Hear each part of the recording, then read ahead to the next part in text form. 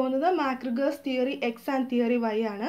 ഇത് മോട്ടിവേഷണൽ തിയറീസിലെ കണ്ടന്റ് തിയറീസിലെ മൂന്നാമതായിട്ട് വരുന്നതാണ് McGregor's theory X and theory Y അപ്പോൾ നമ്മൾ ഇതിന് മുമ്പുള്ള ഒരു ക്ലാസ്സിൽ എബ്രഹാം മാസ്ലോയുടെ തിയറി ഓഫ് നീഡ്സും അതുപോലെ തന്നെ ഹേസ്ബർഗിന്റെ ടു ഫാക്ടർ തിയറിയും പഠിച്ചു. ഇനി അടുത്തതായിട്ട് വരുന്നതാണ് McGregor's theory X and theory Y അപ്പോൾ ഇതെന്താണെന്നുള്ളത് നമുക്ക് നോക്കാം. Theory X and theory Y are theories of human motivation created and developed by Douglas McGregor അതായത് theory X and theory Y എന്ന് പറയുന്നത് തിയറീസ് ഓഫ് ഹ്യൂമൻ മോട്ടിവേഷൻ ആണ്. ഇത് develop ചെയ്തത് ഡോക്ലസ് മാക്രിഗർ ആണ്. He proposed two distinct views of human beings one basically negative theory X and other basically positive theory Y അതായത് Douglas McGregor രണ്ട് different views of human ബീങ്സിനെ പറ്റിയിട്ടാണ് പറയുന്നത്. അതായത് ഒന്നെന്ന് പറയുന്നത് ബേസിക്കലി നെഗറ്റീവാണ് അതാണ് തിയറി എക്സ് അടുത്തതെന്ന് പറയുന്നത് ബേസിക്കലി പോസിറ്റീവാണ് അതാണ് തിയറി വൈ ഇനി നമുക്ക് തിയറി എക്സ് എന്താണെന്ന് ഡീറ്റെയിൽഡ് ആയിട്ട് നോക്കാം. Under theory X managers believe employees inherently dislike work and must therefore be directed or even coerced into performing it അതായത് തിയറി എക്സ് അനുസരിച്ച് മാനേജേഴ്സ് വിശ്വസിക്കുന്നത് എംപ്ലോയീസ് വർക്കിനെ ഇഷ്ടപ്പെടാത്തവരായിരിക്കും. അതുപോലെ അവർ സ്വാഭാവികമായിട്ട് വർക്കിനെ ഇഷ്ടപ്പെടാത്തവരായിരിക്കും. അവരെ ഡയറക്റ്റ് ചെയ്യുകയും അതുപോലെ ഫോഴ്സ് ചെയ്യുകയും ചെയ്താൽ മാത്രമാണ് അവർ പെർഫോം ചെയ്യുള്ളൂ എന്നാണ് തിയറി എക്സ് പറയുന്നത്. തിയറി എക്സ് എന്ന് പറയുന്നത് പെസിമിസ്റ്റിക് ആൻഡ് റിജിഡ് ആണ്. അതായത് തിയറി എക്സ് എന്ന് പറയുന്നത് ഒരു നെഗറ്റീവ് വ്യൂ ആയിരിക്കും. അതെന്ന് പറയുന്നത് ഒരു കട്ടിയുള്ള നെഗറ്റീവ് ആയിട്ടുള്ള വ്യൂ ആണ് തിയറി എക്സ് എന്ന് പറയുന്നത്. അപ്പോൾ നമുക്കിനി തിയറി എക്സ് എന്താണ് പറയുന്നത്? അതിന്റെ അസംഷൻസ് എന്തൊക്കെയാണെന്നുള്ളത് നമുക്ക് നോക്കാം. തിയറി എക്സിന്റെ അസംഷൻസിനകത്ത് ഒന്നാമതായിട്ട് വരുന്നത് എംപ്ലോയീസ് ഡിസ്ലൈക്ക് വർക്കിംഗ് എന്നുള്ളതാണ്. അതായത് എംപ്ലോയീസിന് വർക്ക് ചെയ്യുന്നത് ഇഷ്ടമല്ല. അവർ വർക്കിനെ ഡിസ്ലൈക്ക് ചെയ്യുന്നവരായിരിക്കും. അടുത്തത് avoid responsibility and need to be directed അതായത് അവർ ഒരിക്കലും അവർ റെസ്പോൺസിബിലിറ്റി ഉത്തരവാദിത്തങ്ങൾ ഏറ്റെടുക്കാൻ ഇഷ്ടപ്പെടാത്തവരായിരിക്കും തിയറി എക്സ് അനുസരിച്ച് എംപ്ലോയീസ് അവരെ എപ്പോഴും ഡയറക്റ്റ് ചെയ്തുകൊണ്ടിരിക്കേണ്ട ആവശ്യമുണ്ട്. അടുത്തതെന്ന് പറഞ്ഞാൽ how to be controlled forced and threatened to deliver what is needed അതായത് എംപ്ലോയീസിനെ എപ്പോഴും കൺട്രോൾ ചെയ്യുകയും ഫോഴ്സ് ചെയ്യുകയും ചെയ്തുകൊണ്ടിരുന്നാൽ മാത്രമാണ് അവർ വർക്കുകൾ എന്താണോ ചെയ്യേണ്ടത് അത് ചെയ്യുകയുള്ളൂ. അല്ലെങ്കിൽ അവർ ഒന്നും ഡെലിവർ ചെയ്യില്ല അവർ വെറുതെ ഇരിക്കുകയുള്ളൂ. എന്നുള്ള രീതിയിലുള്ള ഒരു അസംഷനാണ് തിയറി എക്സ് പറയുന്നത്. അടുത്തതെന്ന് പറഞ്ഞാൽ need to be supervised at every step അതായത് ഇവർ തന്നെയൊന്നും ചെയ്യത്തില്ല. എല്ലാ സ്റ്റെപ്പുകളിലും ഇവരെ സൂപ്പർവൈസ് ചെയ്തുകൊണ്ടിരിക്കണം എന്നാണ് തിയറി എക്സ് പറയുന്നത്. അടുത്തത് need to be enticed to produce results otherwise they have no ambition or motivation to work അതായത് ഇവരെ എപ്പോഴും വർക്ക് ചെയ്യാൻ വേണ്ടിയിട്ട് നയിച്ചുകൊണ്ടിരിക്കണം റിസൾട്ടുകൾ പ്രൊഡ്യൂസ് ചെയ്യാൻ വേണ്ടിയിട്ട് നയിച്ചുകൊണ്ടിരിക്കണം അല്ലെങ്കിൽ ഇവർക്ക് ഒരിക്കലും ഒരു അംബീഷനോ അല്ലെങ്കിൽ ഒരു മോട്ടിവേഷനോ അങ്ങനെയൊന്നും ഉണ്ടാവില്ല. വർക്ക് ചെയ്യാൻ വേണ്ടിയിട്ടുള്ള ഒരു അംബീഷൻ അല്ലെങ്കിൽ വർക്കിന് വേണ്ടിയിട്ടുള്ള ഒരു മോട്ടിവേഷൻ ഒന്നും വില്ലിങ്നെസ് ടു വർക്കൊന്നും ഇവർക്ക് ഉണ്ടാവില്ല എന്നാണ് തിയറി എക്സ് പറയുന്നത്. There is little delegation of authority and control remain centralized അതായത് ഡെലിഗേറ്റ് ചെയ്യുക എന്ന് പറഞ്ഞാൽ താഴെ ഇരിക്കുന്ന സബോർഡിനേറ്റ്സിലേക്ക് വർക്ക് കൊടുക്കുന്നതിനെയാണ് ഡെലിഗേഷൻ ഓഫ് അതോറിറ്റി എന്ന് പറയുന്നത് വർക്ക് വിഭജിച്ച് കൊടുക്കുന്നത്. അതുപോലെ ഈ ഒരു തിയറി എക്സ് അനുസരിച്ചാണെങ്കിൽ ഇങ്ങനെ വർക്ക് വിഭജിച്ച് കൊടുക്കുന്നത് കുറവായിരിക്കും. കൂടുതലും മേളിലിരിക്കുന്ന ആളുകൾ തന്നെയായിരിക്കും ചെയ്യുന്നത്. അതുപോലെ തന്നെ കൺട്രോൾ റിമൈൻ സെൻട്രലൈസ്ഡ് സെൻട്രലൈസ്ഡ് എന്ന് പറഞ്ഞാൽ ഒരു പർട്ടിക്കുലർ ഭാഗത്ത് മാത്രം ഒതുങ്ങി നിൽക്കുന്നതായിരിക്കും കൺട്രോൾ എന്ന് പറയുന്നത്. അതായത് ടോപ്പ് മാനേജ്മെന്റിൽ മാത്രം ഒതുങ്ങി നിൽക്കുന്നതായിരിക്കും കൺട്രോൾ എന്ന് പറയുന്നത്. ബാക്കിയുള്ളവരൊന്നും ഡിസിഷൻ മേക്കിംഗ് പ്രോസസ്സിലോ വേറൊരു പ്രോസസ്സിലോ ഒന്നും ഇൻവോൾവ് ചെയ്യില്ല. അതായത് താഴെക്കിടയിലുള്ള വർക്കേഴ്സ് ഡിസ് അവർ വർക്ക് ചെയ്യാൻ ഇഷ്ടപ്പെടാത്തവരായിരിക്കും അവർ മടിയന്മാരായിരിക്കും. അപ്പോൾ അവർക്ക് കൂടുതൽ സൂപ്പർവിഷൻ ആവശ്യമുണ്ട് എന്നൊക്കെയാണ് തിയറി എക്സ് പറയുന്നത്. തിയറി എക്സ് എന്ന് പറയുന്നത് ഒരു നെഗറ്റീവ് വ്യൂ ആണെന്നുള്ളതാണ് നമ്മൾ ഇതിനകത്ത് മെയിൻലി മനസ്സിലാക്കേണ്ടത്. അടുത്തത് നമുക്ക് തിയറി വൈ എന്താണെന്ന് ഡീറ്റെയിൽഡ് ആയിട്ട് നോക്കാം. Under theory Y managers assume employees can view work as being as natural as rest or play and therefore the average person can learn to accept and even seek responsibility theory Y is optimistic dynamic and flexible അതായത് theory Y പറയുന്നത് എന്താണെന്ന് വെച്ചാൽ theory Y എന്ന് പറയുന്നത് നമ്മൾ ഏറ്റവും ആദ്യം മനസ്സിലാക്കേണ്ട ഒരു കാര്യം തിയറി വൈ എന്ന് പറയുന്നത് ഒരു പോസിറ്റീവ് വ്യൂ ആണ്. അണ്ടർ തിയറി വൈ മാനേജേഴ്സ് എംപ്ലോയീസിനെ പോസിറ്റീവായിട്ടാണ് കാണുന്നത്.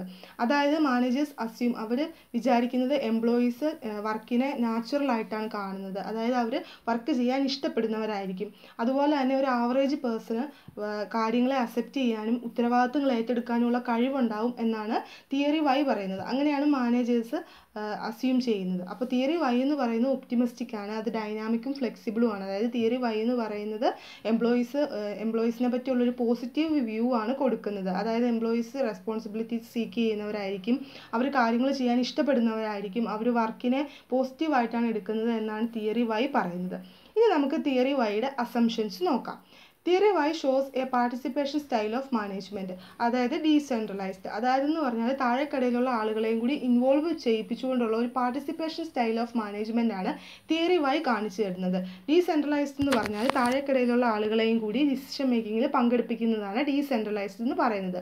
ഇതിനെപ്പറ്റി നമ്മൾ ഡീറ്റെയിൽഡ് ആയിട്ട് പിന്നീട് പഠിക്കും. ഇപ്പോൾ നമുക്ക് ജസ്റ്റ് ഒന്ന് നോക്കി വിടാം അതായത് ഡീസെൻട്രലൈസ്ഡ് എന്ന് പറയുന്നത് ഒരു മാനേജ്മെന്റിന്റെ അതായത് ഒരു ഓർഗനൈസേഷനിലുള്ള എല്ലാ ആളുകളെയും താഴെക്കടയിലുള്ള ആളുകളെയും കൂടി ഡിസിഷൻ മേക്കിങ്ങിൽ പാർട്ടിസിപ്പേറ്റ് ചെയ്യുന്നതാണ് ഡീസെൻട്രലൈസ്ഡ് എന്ന് പറയുന്നത്. ഇവിടെ കോൺസെൻട്രേഷൻ ഓഫ് അതോറിറ്റി ഉണ്ടാവില്ല. തിയറി വൈ അനുസരിച്ച് ആളുകൾക്ക് പൊട്ടൻഷ്യൽ ഉണ്ട്. അവർ വർക്ക് ചെയ്യും എന്ന് വിശ്വസിക്കുന്ന ഒരു പോസിറ്റീവ് അപ്രോച്ചാണ് തിയറി വൈ എന്ന് പറയുന്നത്. അടുത്ത അസംഷൻ എന്ന് പറഞ്ഞാൽ it assumes that employees are happy to work are self motivated and creative and enjoy working with greater responsibility അതായത് ഈ ഒരു തിയറി അനുസരിച്ച് എംപ്ലോയീസ് വർക്ക് അതായത് സന്തോഷത്തോടെ വർക്ക് ചെയ്യുന്ന ആളുകളായിരിക്കും അവർ സെൽഫ് മോട്ടിവേറ്റഡ് ആയിരിക്കും അവർ ക്രിയേറ്റീവ് ആയിരിക്കും. അതുപോലെ തന്നെ ഒത്തിരി ഉത്തരവാദിത്തങ്ങൾ ഏറ്റെടുക്കാനായിട്ട് അത് ഏറ്റെടുക്കാനായിട്ട് തയ്യാറായിരിക്കും. അവർ അത് അതിനെ എൻജോയ് ചെയ്ത് ചെയ്തുകൊണ്ട് കൂടുതൽ റെസ്പോൺസിബിലിറ്റീസ് ഏറ്റെടുത്ത് വർക്ക് ചെയ്യും എന്നാണ് തിയറി വൈ പറയുന്നത്.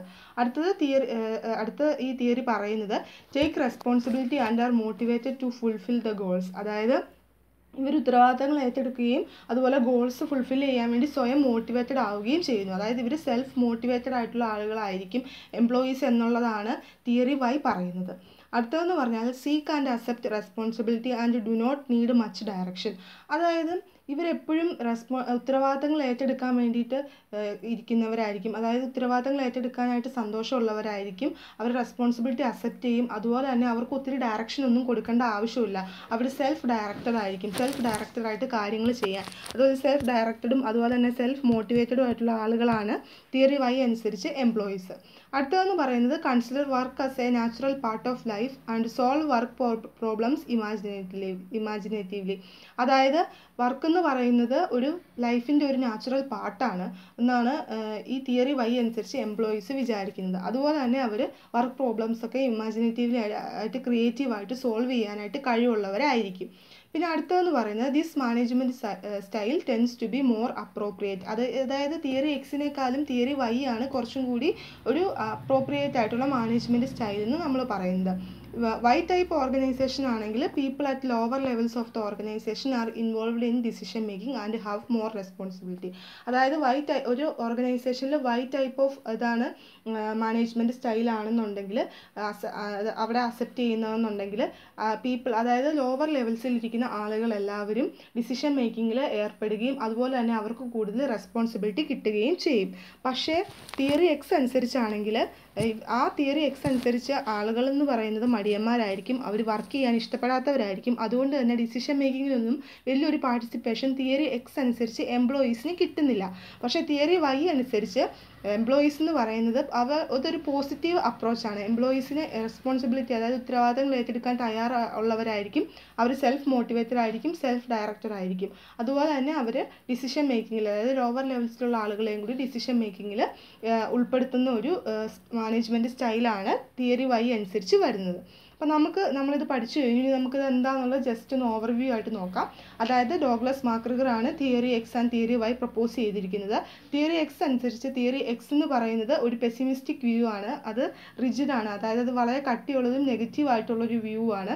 അതായത് തിയറി എക്സ് അനുസരിച്ച് എംപ്ലോയീസ് വർക്ക് ചെയ്യാൻ വേണ്ടിയിട്ട് മടിയുള്ളവരായിരിക്കും. അവർക്ക് വർക്ക് ചെയ്യുന്നത് ഇഷ്ടമല്ല. അവരെ ഫോഴ്സ് ചെയ്യുകയും അതുപോലെ തന്നെ അവരെ ഡയറക്റ്റ് ചെയ്യുകയും ചെയ്താൽ മാത്രമാണ് അവർ വർക്ക് ചെയ്യുള്ളൂ. അവർക്ക് റെസ്പോൺസിബിലിറ്റീസ് ഒന്നും ഏറ്റെടുക്കുന്നത് ഇഷ്ടമല്ല എന്നാണ് തിയറി എക്സ് പറയുന്നത്. തിയറി വൈ എന്ന് പറയുന്നത് ഒരു പോസിറ്റീവ് അപ്രോച്ചാണ് ഇതിൽ പറയുന്നത് ഒരു ആവറേജ് പേഴ്സണ് ഉത്തരവാദിത്തങ്ങൾ ഏറ്റെടുക്കാനും കാര്യങ്ങൾ ചെയ്യാനും ഉള്ള കഴിവുണ്ട് എന്നാണ് പറയുന്നത്. തിയറി വൈ എന്ന് പറയുന്നത് പോസിറ്റീവാണ് അത് ഡൈനാമിക്കും ഫ്ലെക്സിബിളുമാണ് അതുപോലെ തന്നെ തിയറി വൈ അനുസരിച്ച് എംപ്ലോയീസ് എന്ന് പറയുന്നത് എപ്പോഴും വർക്കിനെ നല്ലൊരു രീതിയിൽ അക്സെപ്റ്റ് ചെയ്യുന്നവരായിരിക്കും. അവർ സെൽഫ് മോട്ടിവേറ്റഡും സെൽഫ് ഡയറക്ടറും ആയിരിക്കും ഡയറക്റ്റഡും ആയിരിക്കും. അതുപോലെ തന്നെ ഇവിടെ ഡീസെൻട്രലൈസേഷൻ വരും. കാരണം താഴെയുള്ള ലോവർ ലെവൽസ് ഓഫ് ലോവർ ലെവൽസിലിരിക്കുന്ന ആളുകൾക്ക് ഡിസിഷൻ മേക്കിങ്ങിൽ പങ്കെടുക്കാനുള്ള ഒരു അവസരം കിട്ടുന്നുണ്ട്. പക്ഷേ തിയറി എക്സിൽ അത് കിട്ടുന്നില്ല. കാരണം തിയറി എക്സ് അനുസരിച്ച് പറയുന്നത് എംപ്ലോയീസ് മടിയന്മാരായിരിക്കും അവർക്ക് ഒന്നും സ്വയമായിട്ട് ചെയ്യാനുള്ള കഴിവില്ല എന്നുള്ള രീതിയിലാണ് തിയറി എക്സ് പറയുന്നത്. അപ്പോൾ തിയറി എക്സിൽ സെൻട്രലൈസേഷൻ ആയിരിക്കും. അതായത് ടോപ്പ് മാനേജ്മെന്റ് ആയിരിക്കും ഡിസിഷൻസ് ഒക്കെ എടുക്കുന്നത്. തിയറി വൈ അനുസരിച്ച് എല്ലാ തട്ടുകളിൽ ഇരിക്കുന്ന ആളുകളെയും ഡിസിഷൻ മേക്കിങ്ങിൽ പങ്കെടുപ്പിക്കും. അപ്പോൾ അതാണ് theory X and theory Y എന്നുള്ളത്. അപ്പോൾ ഇന്ന് നമ്മൾ ഡീറ്റെയിൽഡ് ആയിട്ട് നോക്കിയത് ഡോക്ടേഴ്സ് മാക്രിഗറിന്റെ theory X and theory Y ആണ്. ഇനി നമുക്ക് അടുത്തൊരു ടോപ്പിക്കുമായിട്ട് അടുത്ത ക്ലാസ്സിൽ കാണാം.